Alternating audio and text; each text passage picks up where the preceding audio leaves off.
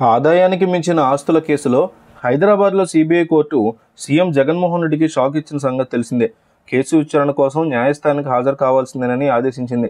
ఈ నెల పదిన కేసు విచారణకి జగన్మోహన్ రెడ్డికి హాజరు కావాలని ఆయన తరఫున లాయర్లకి న్యాయస్థానం సూచించింది. జగన్తో పాటు ఈ కేసులో ఏటూగా ఉన్న విజయసాయిరెడ్డి కూడా విచారణకు హాజరు కావాలని తెలిపింది.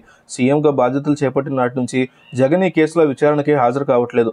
పని ఒత్తిళ్ళు ప్రభుత్వానికి ఆర్థిక భారం దృష్ట్యా తన హాజరుకి మినహాయింపు కల్పించాలని సీఎం జగన్మోహన్ రెడ్డి గతంలో సిబిఐ కోర్టును కోరారు. తాను కోర్టుకు హాజరైతే ప్రభుత్వానికి అరవై లక్షలు ఖర్చు అవుతాయని కనీసం కానీ న్యాయస్థానం దానికి అంగీకరించలేదు. నిందితుడు బలమైన వ్యక్తిని ఆయన సాక్షులను ప్రభావితం చేసే అవకాశం ఉందని సిబిఐ ఆరోపించింది. అయితే ప్రతి శుక్రవారం కేసు విచారణకు జగన్ హాజరయ్యే విషయంలో ఆయన తరఫున లాయర్లు రకరకాల కారణాలు చూపిస్తూ పిటిషన్లు వేస్తున్నారు. దీంతో సీఎం అయ్యాక ఇప్పటివరకు ఆయన న్యాయస్థానం ఎదుట హాజరు కాలేదు. ఈ కేసులో దాదాపు ఎనిమిదేళ్ళుగా జగన్ విచారణ ఎదుర్కొంటున్నారు.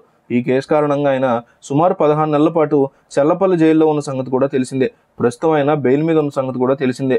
అయితే న్యాయస్థానంలో చెప్పిన దాని ప్రకారం గతేడాది మార్చి ఒకటిన చివరిగా జగన్మోహన్ రెడ్డి కోర్టుకు హాజరయ్యారని అప్పటి నుంచి ఏదో కారణం చెప్తున్నారంటూ కోర్టు ఆగ్రహాన్ని వ్యక్తం చేసినట్టుగా వార్తలు వచ్చాయి. విజయసాయిరెడ్డి గత ఏడాది మే సెప్టెంబర్ నవంబర్లో ఒక్కొక్కసారి మాత్రమే హాజరయ్యారని అసహనాన్ని వ్యక్తం చేశారు. ఈసారి హాజరు మినహాయింపు పిటిషన్ అనుమతిస్తారని అలాగే తదుపరి విచారణ రోజున అంటే ఈ నెల పదిన మాత్రం జగన్ విజయసాయిరెడ్డి ఇద్దరు తప్పనిసరిగా హాజరు కావాలని న్యాయమూర్తి ఉత్తర్వులు జారీ చేశారు.